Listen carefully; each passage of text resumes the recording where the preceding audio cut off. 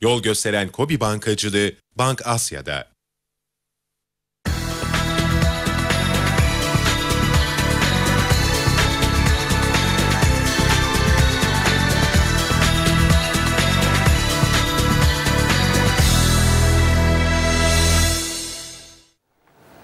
Bugün TV ekranlarından günaydın sevgili seyirciler. Paranın rotasıyla karşınızdayız bir kez daha. Yaşar Erdinç hocamız da yanımızda.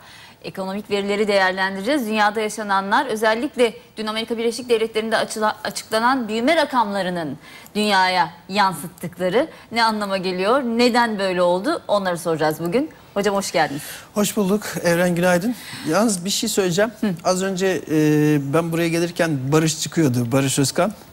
Bana dedi e, bana dedi ki paranın rotası izleyicilerine benden selam söyle dedi. Tamam. Üzerimde kalmasın. Tamam. Barış şu an biliyorsunuz gece yarısı saat 4'te falan geliyor. Tabii tabii Sabah o 6'yla Murat'ın yerini aldı ben Barış'ın yerini Evet, aldım. Murat'ın yerini aldı. Evet. O da selam gönderdi. Böylelikle ben de selamlarını iletmiş oldum. Tamamdır çok iyi oldu.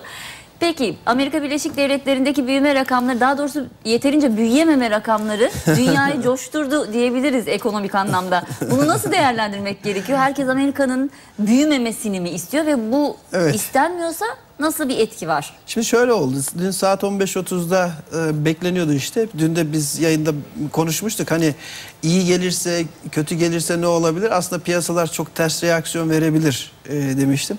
Şu an e, iyi haber ve kötü haber ayrımı yapmak oldukça zor. Kötü haber, daha doğrusu ekonomi için kötü haber, piyasalar için iyi haber durumuna geçti. Bunun sebebi de e, en son Fed'in toplantısında Fed Başkanı Bernanke dedi ki yani 2014'ün ortaları itibariyle veya sonuna doğru tahvil alım programını belki de sıfıra indireceğiz. Yani bir e, hani sonlandırılmış da olabilecektir dedi. Yalnız bunun için bir şart koştu. O şart da işsizlik oranı %7'ye düştüğünde tahvil alım programı da sonlandırılmış olacak. Şimdi e, fakat bir cümle daha söyledi. Tabii ki dedi hatta parasal genişleme bile yapabiliriz dedi. O da dedi gelecek ekonomik verilere bağlı dedi. Yani aslında FED şöyle bir resim çiziyor. Ben niyetim tahvil alım programını azaltmak ama beklediğim şekilde ekonomi iyi giderse azaltmak. Ve o zaman eee aza, pa- tahvil alımında e, parasal genişlemeyi azaltacağım diyor. Şimdi dün 2.4 beklenen büyüme %1.8 gelince ki çok çok altında. Evet. Ah tamam Bernanke'nin beklediği verilerden biri Bernanke'nin beklediği gibi gelmiyor. Ve olaylar Dolayısıyla da parasal genişleme hemen sonlandırılamayabilir. Hala elimizde bol para dolar olmaya Yani devam. dün dediğiniz şeye geliniyor aslında. Büyüme Evet. fazla olmazsa para kalacağı için piyasada bir rahatlama olur demiştiniz. Evet Ee, ve te, tabii ters tepki yaptı. O şöyle diyeyim reel ekonomi dediğimiz şey yani büyüme, üretme vesaire. Orada sorun olduğu sürece parasal genişlemeyi hemen durdurmak zor. Ama şunu da belirteyim yani e, birinci çeyrek e, neredeyse üzerinden iki ay geçti, iki buçuk ay geçti. Yani Ocak, Şubat, Mart büyüme rakamı. Daha önceki veri 2.4 olarak açıklanmıştı zaten. Piyasada 2.4 bekliyor. E, revize oldu. Baktılar ki o kadar da büyümemiş ekonomi. O zaman ivme zayıflamış oluyor. Fakat bu arada örneğin bugün e, Amerika'dan işsizlik verileri açıklanacak. İşsizlik verilerinde eğer iyi bir sonuç gelirse bu sefer de ters etki yapabilir. Aa, Büyüme rakamı küçük gelmişken işsizlik verisi iyi gelebilir mi? Gelebilir şöyle gelebilir. Büyüme rakamı Ocak, Şubat, Mart'a ait bir veri. Ama işsizlik Ha. verisi sadece geçen hafta işsizlik başvurusu ne oldu? Yani bir hafta içerisinde ne kadar kişi işsiz olarak başvurdu ne kadarı da geri çekti başvurusunu veya iş buldu. Dolayısıyla bu aradaki fark e, onunla onun arasında hiçbir ilgi olmamasına rağmen e, eğer işsizlik verileri çok iyi gelirse e, o zaman da aa, işsizlik de düşüyor. Dolayısıyla insanlar iş bulmaya başlıyor. Dolayısıyla demek ki parasal genişleme daha erken sonlandırılabilir gibi de abuk subuk bir e, nedensellik ilişkisi kurabilir piyasa. Ben şunu söylemeye çalışıyorum. Bir türbülans yaşandı. Bernanke'nin açıklamaları sonrasında gelişmekte olan piyasalara gitmiş olan dolar bir miktar artık evine dönmeye başladı. Evet. Bu dönüş en azından son iki gündür yavaşladı ve durdu. Ee, sağanak halinde gidiyordu. Şu an yavaşladı. Dolayısıyla bu yavaşlama sonrasında şimdi artık sadece küresel ekonomiler değil, bizler de Türkiye'de o verilere bakacak. Yani Amerika'dan gelecek her veri. Her veri Avrupa'dan gelecek etkileyecek. evet her veri bayağı ciddi anlamda e, piyasaları yönlendirecek diyeyim ben. Dikkatimi çeken bir soru var. İki ay önce Amerika'dan iyi veri gelince borsalar hareketlenirdi. Şimdi kötü veri gelince borsa coşuyor diyor Yunus Emre Sevim adlı izleyicimiz. Bu 180 derecelik dönüş ne kaynaklı diye soruyor. Valla şimdi şöyle e, özellikle e, hani e, Bernanke'nin açıklamaları öncesi Bernanke'nin açıklamaları sonrası diye değerlendirmek Ona göre lazım. ayırmamız Tabii. gerekiyor. Hani milattan önce, milattan sonra gibi. BÖ, BS, Bernanke'den önce, Bernanke'den sonra diye değerlendirmek gerekiyor. Piyasayı korkutan neydi? E bu para çekilecek. Şart ne? Ekonomik veriler normal beklendiği gibi olumlu giderse. E, o şart gerçekleşiyor mu? Hayır. Bu veriyle gerçek. Ha o zaman para çekilmeyecek. Yani temel mantık şu an Anladım. piyasalarda bu. Bu arada e, ben yalnız şeyi Heh, şu an zannedersem bağlanıyorum tekrar. E, internet bağlantım gitti. kopmuştu. O Evet. sırada hani piyasayı görmek açısından önemli. Şu an zannedersem e, geldi e, tekrar. Evet. E, dolayısıyla bunu anlamamak hani e, ya bu tabii ki ters bir şey. Ama bu kısa vadeli etkisidir. Yani onu özellikle belirtelim. E, özellikle bu şey e, e, etki kısa vadede olumlu etkiler de orta ve uzun vadede piyasaları olumlu etkileyecek şey gene olumlu verilerdir. yani ben şunu tercih ederim. Büyüyen bir Amerika, yüzde üçe gelmiş bir Amerika, yüzde üç veya üzerinde büyüyen bir Amerika Evet. ve bunun yanında da parasal genişlemenin azaltılmış olması ama büyümek demek e, evren insanların yavaş yavaş hane halkının artık harcamaya başlaması. Evet. Dolayısıyla üretimi uyarması demektir. Yani siz satın aldığınız zaman diye- diyelim ki her gün bir e, e, cep telefonu satıcısı her gün bir telefon satarken eğer artık iki günde bir iki telefon satmaya başlamışsa uyarılır. Hemen yatırım yapar. Yani hemen e, yeni mal üretmeye veya yeni mal e, getirmeye başlar. Dolayısıyla tüketicinin harcamaya başlaması gerekiyor ve tüketim çok iyi gitmiyor Amerika'da. Bunun tek bir sebebi var. 2008 yılında krize yakalandıklarında inanılmaz bir şekilde bir e, borçla yakalandılar. Amerika'nın tasarruf oranları çok çok düşmüştü ve hatta negatife gelmişti. Herkes borcu alıp bankadan harcıyordu çünkü rahatça e, borçlanıp yüksek faizlerden de borçlanarak harcıyorlardı. İşte ev alıyordu. O biliyorsun konut sektörü çöktü Amerika'da mortgage sektörü. Ev alıyordu, araba alıyordu. Evin fiyatı yukarı gittikçe daha da kredisi artıyordu bankada. Tüm bunların hepsini birlikte düşündüğün zaman normal dünyaya asıl e, sükuneti ve güçlü büyümeyi getirecek, e, güçlü piyasaları getirecek şey güçlü büyüme olabilir. Güçlü büyüme peki bir yandan özür dilerim. Ee, cari açığı da arttırdığını bildiğimiz bir e, veri büyüme. O Evet. güçlü derken o dengeyi de tutarak olan büyümeyi mi kastediyorsunuz? Tabii ama bu hani bizim e, hani sonuçta e, Türkiye için cari açık mutlaka çok önemli. Yani biz Amerika'nın yok mu? Amerika'nın da. Hayır. Şöyle ki sonuçta doları Amerika bastığı için Ha, yine oradan- yine yani oradan doları kaydediyoruz. bastığı için e, hani Amerika'nın bir e, Amerika bir şeyi satın almak istiyorsa dışarıdan çok rahatlıkla dolar basıp satın alabilir. Evet. O çünkü sonuç olarak dünyanın bir şey parası e, kabul edilmiş rezerv para dediğimiz rezerv para ve şu an bütün dünya ticaretini yaparken dolarla yapıyor. Evet. Dolayısıyla mesela Çin'in de cari fazlaları var. Ee, şöyle söyleyeyim. Amerika'nın da tabii ki cari açığı var. Yani e, tamam rahatlıkla basabilir, şey yapabilir ama evet. Amerika'nın da dış ticaret açıkları var. Yani yüksek miktarlarda dış ticaret açıkları vardı. Mesela Çin'de de 3 trilyon dolarlık bir fazla var. Ama onlarda da ciddi bir sorun var. Onlarda da bankalar e, ciddi anlamda sıkışmaya başladı. Evet, Eğer geçen evet. hafta bak hani e, pazartesi günüydü zannedersem ee, ben yayına gelmeden önce Çin yüzde beş buçuğa yakın düşüyordu. Evet. Yayına geldiğimde bu düşüş oranı yüzde ikiye kadar Düşmüştü, evet. e, gerilemişti. Evet. Ve sebebi de biliyor musun? O sırada Çin Merkez Bankası piyasalara likitte verme yönünde müdahale etti ve likiditeyi rahatlatmış. Yani o 10 dakika içerisinde. Ki ben yayına Ne gelmeden kadar hızlı önce... tepki vermiş yani. Ya inanılmaz. Zaten e, şimdi haber o kadar hızlı yayılıyor ki yani daha haberi gördüğü anda Çin borsası hızla yüzde üç yukarı gidiyor dipten itibaren. Biz mesela burada piyasalar, dış piyasalar çok kötü. Amerika vadelileri kötü. Burada bizim piyasada çok düşük açılacak derken sadece 10 dakika içerisinde bir anda rüzgar hemen tersine dönebiliyor. Yani bu aynı e, doğa e, olayları gibi. Yani bir bakıyorsunuz aslında hiçbir şey yok. Ufak ufak bir yağmur çisintisi geliyor ama bir anda boşalıyor. Evet, yani o evet. şekilde gelebiliyor. E, ve işin doğasında da bu var. Yani sonuç olarak şunu söyleyeceğim. Bu fırtına yani şu son bir haftada yaşanan, e, bir iki haftada yaşanan küresel fırtına sonrasında biz henüz daha e, şeyi görmedik. Yani zararı, yarattığı zararı, hasarı görmedik. Yani ortalık bir durulacak şimdi. Hı.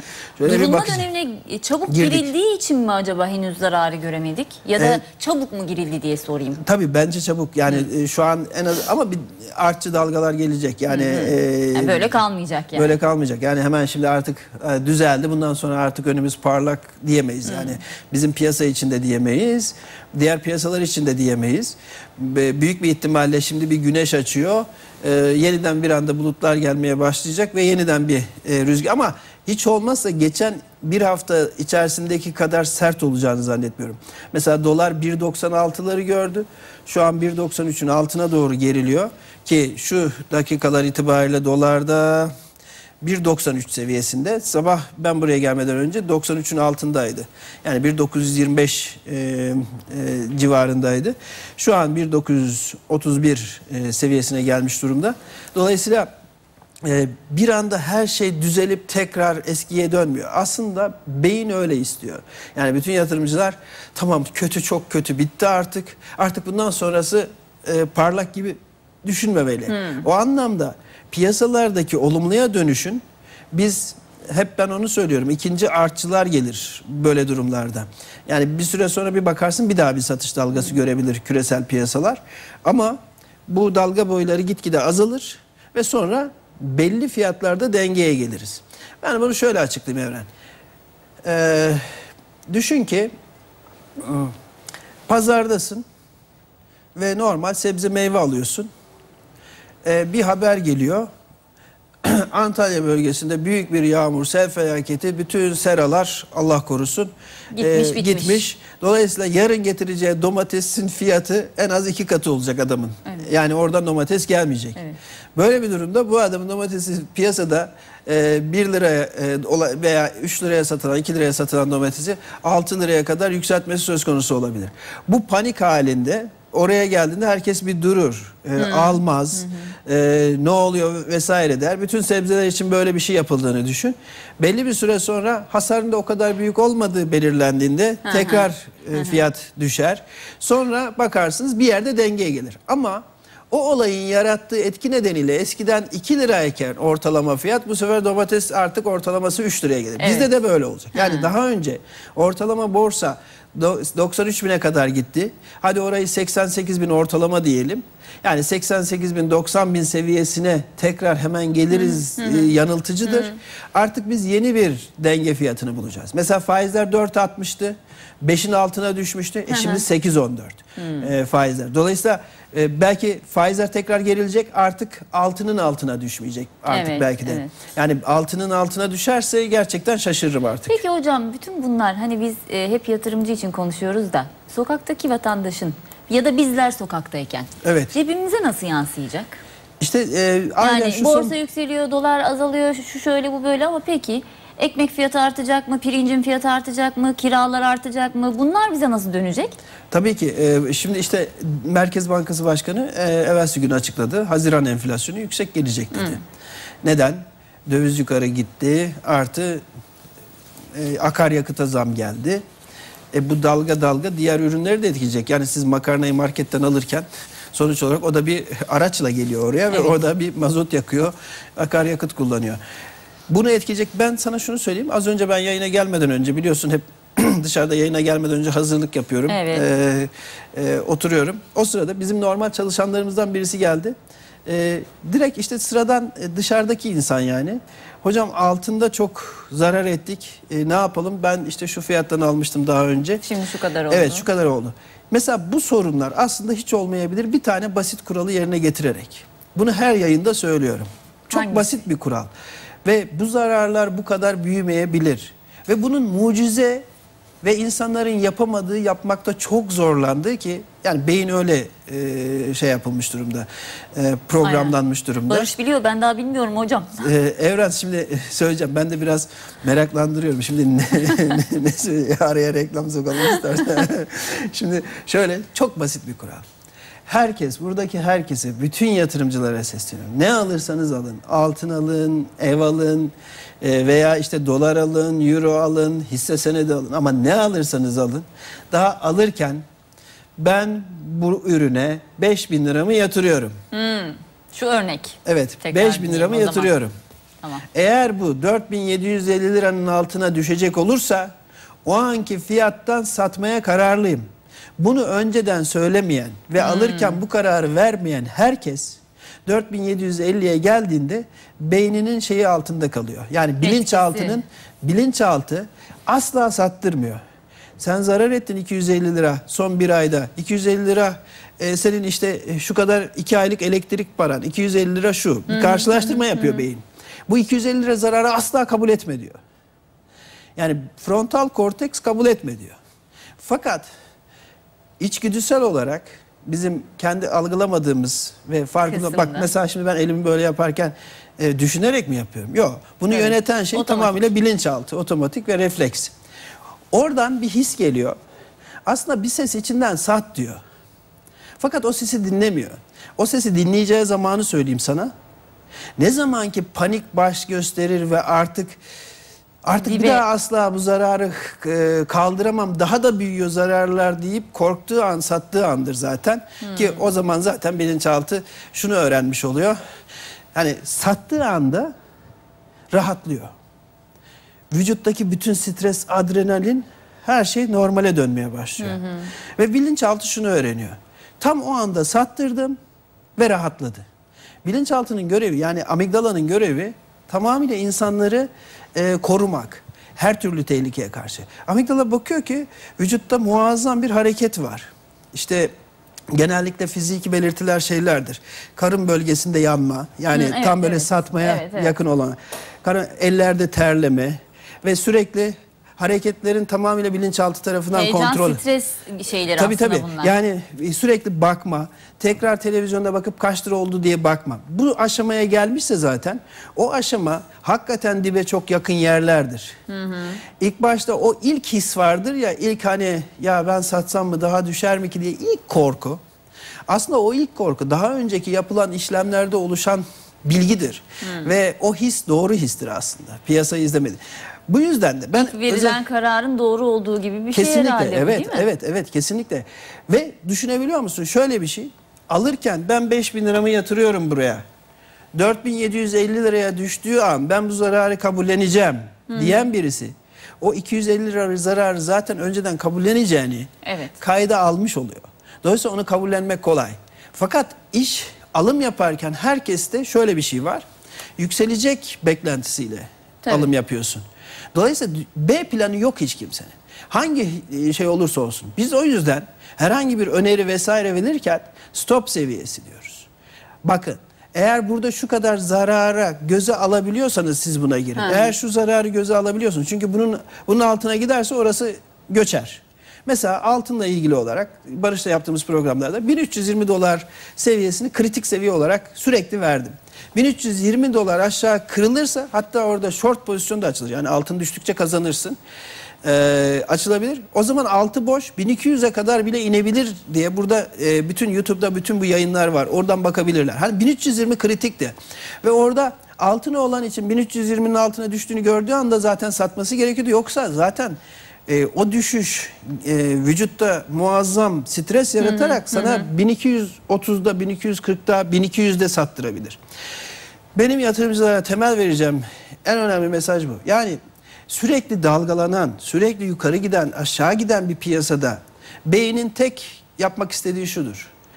En tepede satmak, en dipte aldırmak ister. Çünkü vücudun en mutlu olacağı yer oralardır. Düşünsene. Evet, tabii ki. yani çünkü beynin bilinçaltı seni en mutlu yapmak için çalışıyor.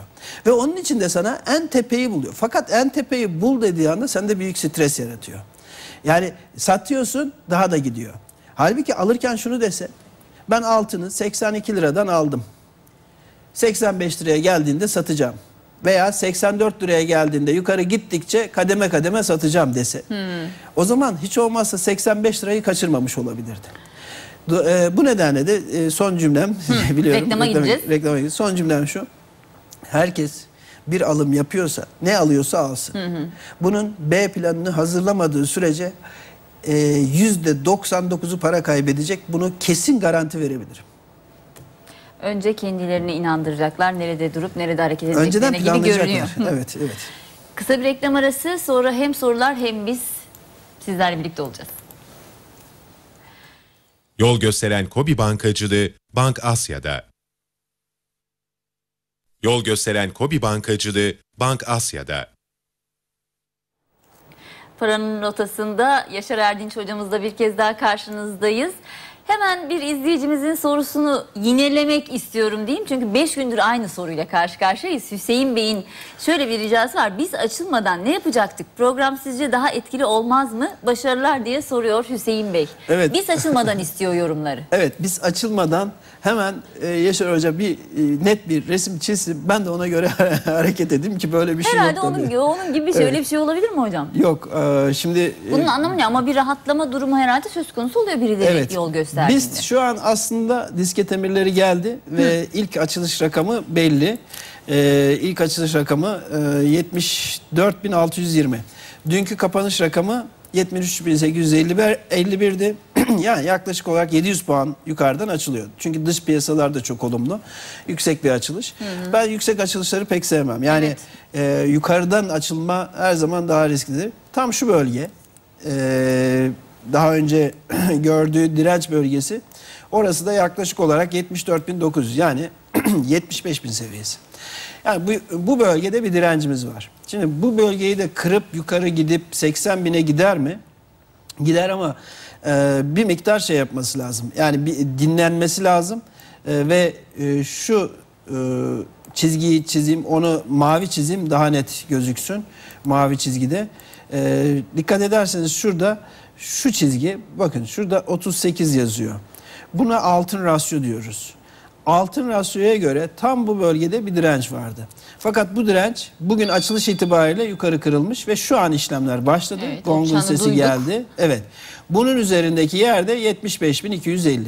Yani birincisi 75.000, ikincisi 75.250. Mesela bunun üzerine de bir çıkış olursa az önce bir soru daha vardı izleyicilerimizden. Yabancılar işte yükseltip mal mı boşaltacaklar şeklinde. Hani bugün eğer endeks gelir de 75.250'yi de yukarı geçerse orada alım yapmak artık riskli olur. Hatırlarsan Koray alımıza sorusu, evet. evet zaten alımı biz pazartesi günü e, pardon salı günü önermiştik. Evet. Salı günü dedi ki Evet. artık kesinlikle buralardan alım yapılabilir. Hatta dün de ben bu düşüşü gördüm. Yine e, web sitemde yorumumu verdim. Ayrıca Hüseyin Bey'e de şunu söyleyeyim. E, bizim Bilge Yatırımcı.com sitesinde her sabah zaten endeksle ilgili çok ayrıntılı yolumu veri- yorumu veriyorum. Sonra da buraya geliyorum. İzleyici de aslında genellikle orayı okuyor sonra bizi izlemeye başlıyor. Şu an e, açılış sonrasında evet yüksek yüksekteyiz. 74.682. Dünkü kapanışın en az 1-2 kademe üzerinden açıldı kağıtlar.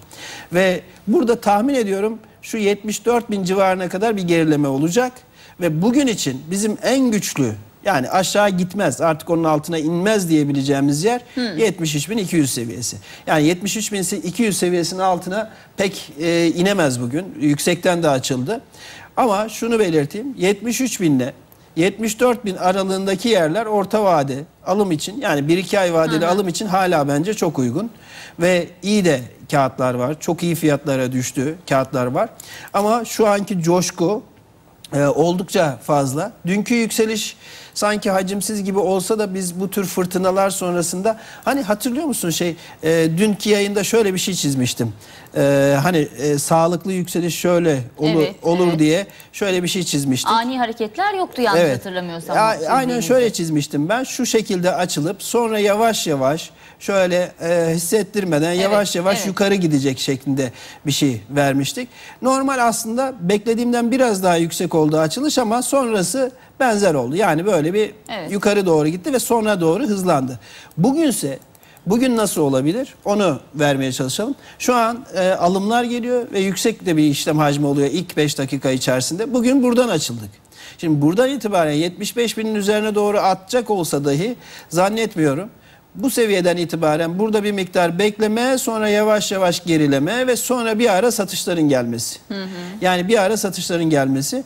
O satışların gelmesi durumunda herkesin endişeye kapılması.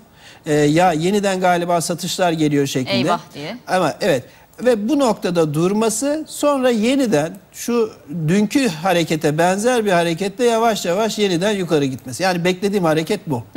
Kafamdakini söyleyeyim. Yalnız şunu da söyleyeyim. Benim beklediğim hareket o. Ve benim beklediğimin yüzde otuzu yanlış çıkar. Yani yüzde yüz tane bir şey bekliyorsam kendi istatistiğimi Mutlaka söylüyorum. bir marj Evet. koymamız gerekiyor. Tabii yani ben öyle payı. ama o sırada Çin'den gelen bir haber- haberle e, direkt 73 bine kadar geri, geri de çekilebilir. Çin, Avrupa, Amerika herhangi bir yerden herhangi bir yerden gelebilir. haber değil evet, mi? herhangi bir yer. Bugün mesela şimdi tüketici güven endeksi açıklanacak. TÜİK tüketici güven endeksini açıklayacak saat 10'da. Mesela tüketici güven endeksi eğer ciddi bir çöküş yaşamışsa bu gezi olayları vesaire falan da tüketici güven endeksi e, bu sefer yatırımcıyı göre bir hareketlenme evet, olacak yatırımcıyı strese sokabilir. Endeks için beklentilerim böyle.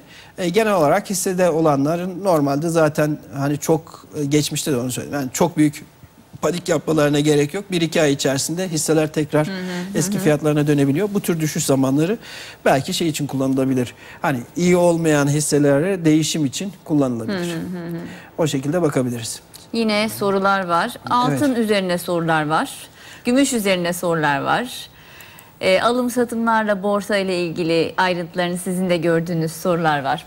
Ne yapacağız? Ee, evet, e, şimdi istersen direkt altına bakalım önce. Tamam. Altın 5 dakikalık grafiğini görüyoruz altının. Yani son 5 dakikalık grafikte gün içerisinde nasıl hareketler etmiş Evet. ve buna bakıyoruz. Birincisi şu, özellikle 1320 seviyesi e, şurasıydı bak. E, pardon, tam e, şu seviyeler. Daha önce 1320'de dibi vardı ve burayı aşağı doğru kırdığı anda 5 dakikalık grafiklerde şurayı da aşağı kırdığı anda burada sert düşüş olabileceğini zaten biliyorduk ve altı boştu ve 1200 seviyesi de önemli bir destekti. O destek nereden geliyor onu da bir göstermeye çalışacağım.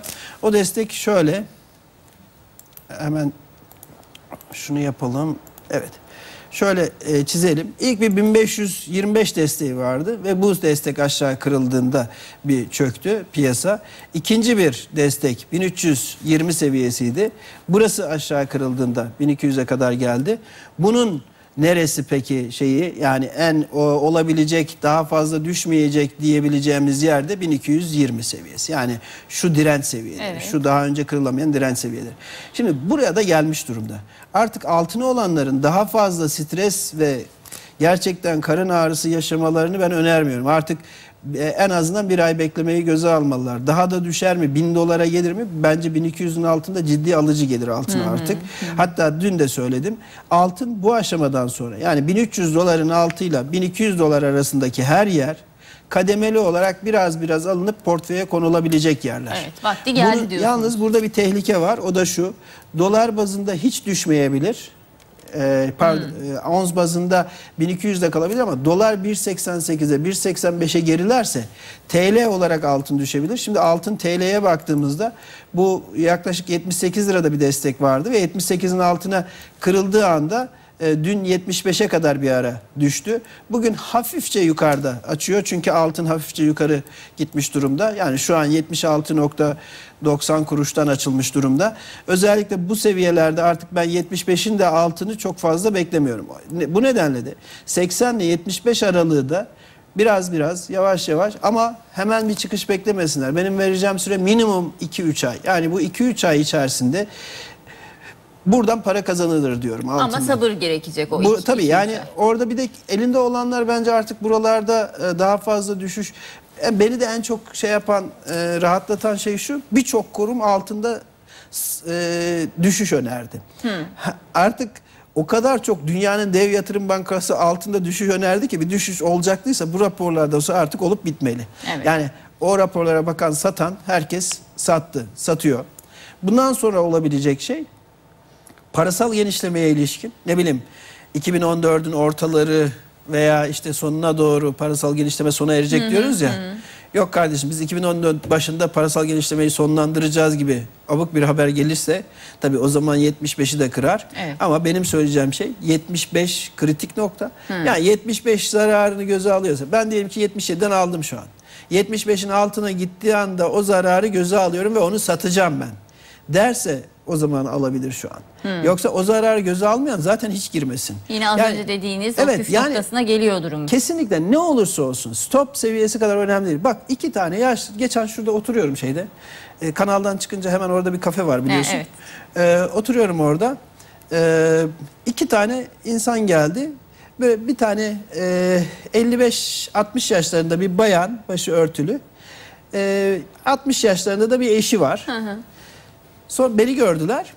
Ee, Yaşar Bey dedi biz e, Yaşar Bey dedi baktım. Hani normalde benim izleyicim normalde genellikle 30-40 yaş arası parasını değerlendirmek isteyendir. Meğer para dergisindeki önerileri verdiğimiz hisse önerilerini ne dersek yapıyormuş. Yani para dergisinde ne ne önerirsem Ona diyor ki ben harfiyen ediyor." yapıyorum diyor. Allah razı olsun diyor. Oradan ben çok para kazandım diyor. Sebebi ne biliyor musun? Stop seviyesine geldiğinde yani yüzde üç zarara geldiğinde onu zararına satıyor. Diyor ki hoca böyle dedi ben bunu zararına satayım diyor tamam mı? Veya hedef fiyata gelince de daha da gider mi stresi mitresi yaşamıyor. Ya hoca burada sat demişti ben de orada satayım diyor. Çok güzel. Bir Ama şekilde dengeli izliyor. bir şekilde gidiyor. Ben hayret ettim şaşırdım. Yani o normal o insanlardan beklemem. Emekli ve ufacık tasarruflarını öyle biriktirmeye çalışarak bana rakamları söylemeyeceğim. Yani rakamı söylemeyeceğim ama hani e, şeyde, Oran oran olarak söyleyebilirsiniz. Oran olarak şey söyleyeyim. Yani ne kadar bir para? Hani büyük bir para değil onu söyleyeyim. Hı. Ama normal banka faizinin yaklaşık 4 ay diyordu. 4 ay içerisinde banka faizinin yıllık faizinin yaklaşık 3,5 katını sadece 4 ayda kazandı Aha. kazanmıştı o orana baktığımız zaman. Yani olay şu. Stop koymayan herkes bak yatırımcıya girip de hisse senedinde yatırımcılık ben hisse senedi piyasasında işlem yapacağım diyen herkes çok fazla tokat yer. Zamanında bak biz de İngiltere'de merak sarmıştık. Ben orada doktora yaparken merak sarmıştım. Ben de ben de inanılmaz tokatlar yedim. O kadar dayak yedik ki ondan sonra zaten oturup şeye geldim, Türkiye'ye geldim. Zaten Türk piyasaları bambaşkaydı. Yani Londra yani Londra borsasında hiç olmazsa çok daha etkin bir piyasaydı. Ve Türkiye'ye geldim, sudan çıkmış balığa döndük ve kitabımda da yazdım. Nasıl para kaybettim ve neleri öğrettim. Ama benim bir tek avantajım vardı. Diğer yatırımcılardan tek bir avantajım şuydu. Çok iyi de 6 sene kaldım İngiltere'de. Hem master hem doktora için. Çok iyi derecede İngilizce bildiğim için Amerika'yı yeniden keşfetmedim. Kendi kendime kurallar uydurmaya çalışmadım. Dünya bu konuda ne kadar kafa patlatmış, neler yapmışlar, burada kazanmanın yolu var mıyı öğrendim. Ve sonuçta geldiğim nokta şuydu Evren. Bu işin ne teknik analiz, ne temel analiz, tamam mı? Eğer beynin zaaflarını öğrenmezsen, beynin zaaflarını öğrenmezsen ve bu piyasaya girer de bütün dalgaları yakalamaya çalışırsan mümkün değil. Hiçbir analizle para kazanma mümkün değil. Önce bir kere beyni şey yapacaksın. Yani terbiye Kontrol edeceksin. altına. Kon- kontrol de demeyeyim yani alamıyorsun zaten. O bir software var. O kendi kendine otomatik çalışıyor software. Fakat daha ilk başlarken en basit kural ve en güçlü kural. Yani para ka- 6-7 sene sonra yatırımcılar neyi öğreniyor biliyor musun bu piyasada? Çok fazla dayak yiye yiye. Kaybetmemenin daha önemli olduğunu öğreniyorlar. Kazanmaktan ziyade, evet. Kaybetmemeyi öğrendiklerinde kazanmaya başlıyorlar. Kaybetmemeyi öğrenmenin en önemli yolu da daha alırken ben şurada satacağım. Ben izliyorum. İzleyiciden sorular geliyor veya okuyuculardan. Yaşar Bey ben o gün şunu yapıyordum kaçırdım aslında stopta satmamla. Hayır ben Bir de çok zannetmiyorum. hızlı hareket ediyor, e, yakalayamıyoruz. Uzun vadeli e, tutucu oluyoruz bu sefer diyenler var. Tabii zaten şey olur yani e, o bir psikolojik e, rahatlama yöntemidir. Mesela e, bir üç günde çok para kazanmak için girmiştir. Fakat bir düşüş gelmiştir, yakalanmıştır. Ondan sonra kendini rahatlatıp kendini huzura erdirebilmek için uzun vadeli yatırımcı olur yani.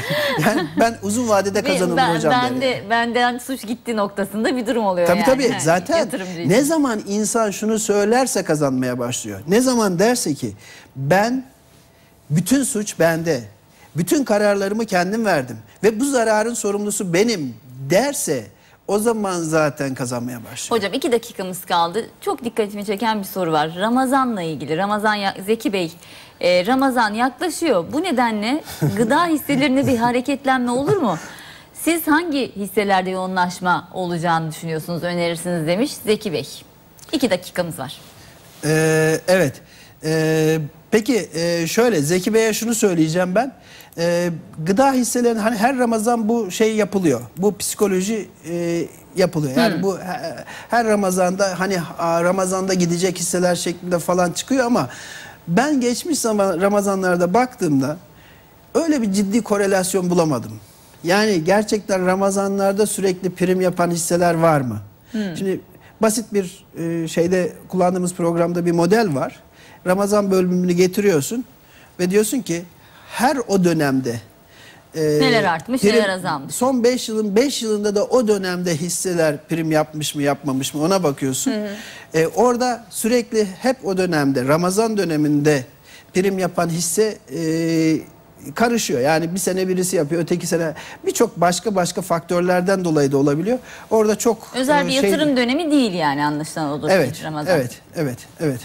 Son olarak söyleyeceğiniz bir şey var mı hocam? Bugüne özel çok soru geldi ama tabii hepsine süremiz yetmiyor ne yazık ki. Evet. Şimdi dolar TL ile ilgili olarak dolar TL'de 1.92 seviyesinin altı geçilirse evren orada daha hızlı bir gerileme olur. Ama şu an 1.92-93 aralığında e, böyle gidip geliyor. 96'yı geçmeyeceğini söyleyebiliriz. Merkez Bankası'nın şeyleri var. Orada müdahaleleri gelebiliyor. O nedenle de aşağı yukarı aşağı yukarı Hareket hareketler beklenebilir ama 92'nin altına geçerse hızla 1.88'e kadar inebilir. Onu yatırımcı e, bilmeli. Çok teşekkür ediyoruz. Ben teşekkür ediyorum. Sağ Yarın olun. yine birlikte olacağız sevgili seyirciler. Saatler 9'u 10 geçeyi gösterdiğinde şimdilik hoşçakalın.